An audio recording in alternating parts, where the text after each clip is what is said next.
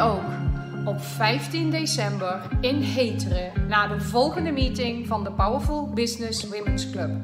Het businessnetwerk voor serieuze, vooruitstrevende vrouwelijke ondernemers met minimaal 100.000 euro omzet. En op 15 december hebben we als gast Jolien Slavenburg. Zij is al jaren lid van ons netwerk en zij is toonaangevend op het gebied van intuïtief ondernemen.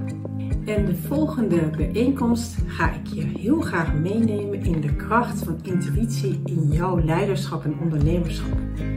Want intuïtie is iets wat we allemaal hebben. En uit onderzoek blijkt dat ondernemers die hun intuïtieve wijsheid meer ontwikkelen, veel impactvoller zijn.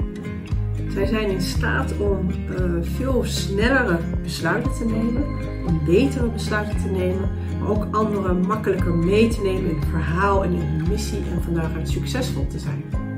En die intuïtie en ook die eigen koers, ja, die hebben we allemaal.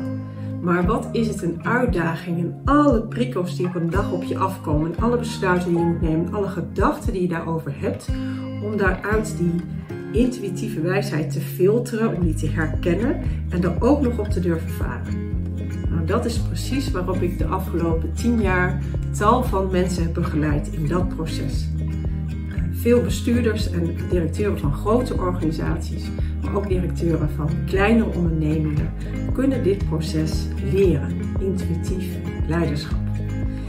Hoe dat in zijn werk gaat en ook wat proeven aan hoe jij wat meer gebruik kan gaan maken van je intuïtie, van je eigen wijsheid in dat leiderschap om die impactvolle, succesvolle leider te zijn. Ook vanuit ontspanning en vanuit innerlijke rust kan werken. Daar gaan we met elkaar mee aan de slag. Je bent van harte welkom.